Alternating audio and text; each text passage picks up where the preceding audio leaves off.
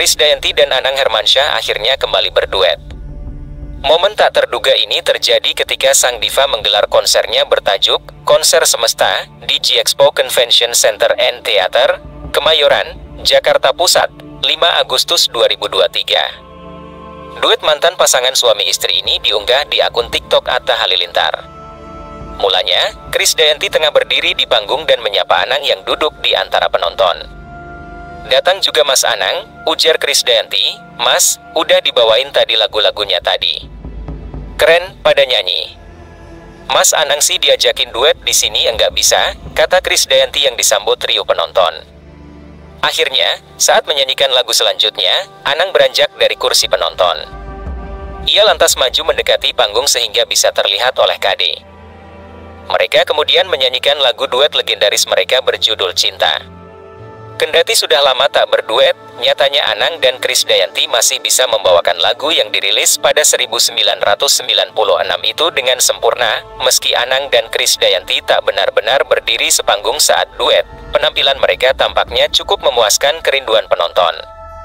Terdengar suara histeris dan tepuk tangan gemuruh, cuplikan duet Anang dan Kris Dayanti menuai beragam komentar. Banyak yang merasa senang dengan hubungan baik mereka meski sudah berpisah dan memiliki pasangan masing-masing. Keren bisa berdamai dengan masa lalu dan akur, komentar netizen. Pasangan duet terkeren pada masanya Attitude Mas Anang keren suka kali lihat keluarga ini bisa berdamai dengan keadaan, komentar netizen. Selain itu, penampilan energi Lesti Kejora di konser Semesta Kris Dayanti malam ini, sukses membuat seluruh tamu undangan terpesona melihatnya. Tampil cantik dengan balutan busana nan islami, membuat Lesti Kejora terlihat bak bidadari saat tampil di atas panggung super spektakuler tersebut. Dalam acara yang bertemakan konser semesta Kris Dayanti, single-single yang dinyanyikan oleh Lesti Kejora berhasil menghipnotis tamu undangan dan para penonton di acara tersebut. Tak ayal, saat Lesti Kejora hendak menuju di atas panggung, berbagai teriakan demi teriakan kian menggema dari berbagai sudut ruangan yang memanggil nama Lesti Kejora dengan sebutan Didi.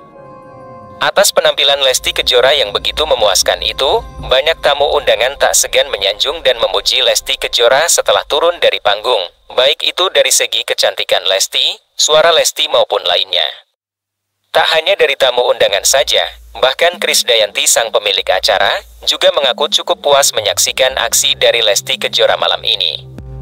Diketahui, hadir sebagai bintang tamu terspesial di konser semesta Kris Dayanti, Lesti Kejora ditemani langsung oleh suami tercinta dan putra semata wayang mereka yang bernama lengkap Muhammad Leslar Al-Fatih Bilar. Menariknya, Kedatangan dari keluarga yang dikenal dengan panggilan Leslar itu disambut dengan meriah oleh panitia penyelenggara acara dan juga para penonton yang sudah menunggu mereka di salah satu gedung yang telah disediakan. Diketahui, konser yang digelar oleh sang diva tanah air, Kris Dayanti, juga dihadiri oleh banyak tamu undangan dari kelas atas, baik itu dari kalangan artis, selebritis, pengusaha, politisi maupun lainnya.